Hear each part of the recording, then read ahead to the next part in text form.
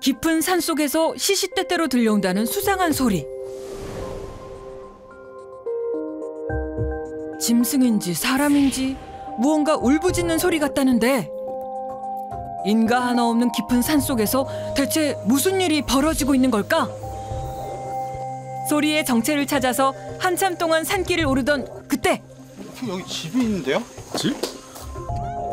외딴 집 한 채를 발견했는데요. 또다시 들려오는 울음소리. 어, 저기 고양이 엄청 많아요. 어디? 울음소리의 정체는 바로 고양이? 하나둘 모습을 드러내는 고양이들.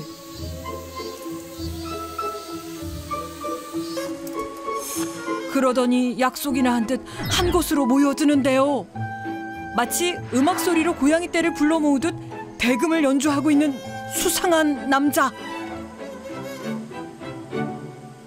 잠깐 얘기 좀 나눌 수 있을까요? 아이고 먼 길 오셨네. 지금 뭐 하고 계셨나요? 어, 손님들 대접하고 있죠. 네? 고양이가 손님이라는 말씀인가요?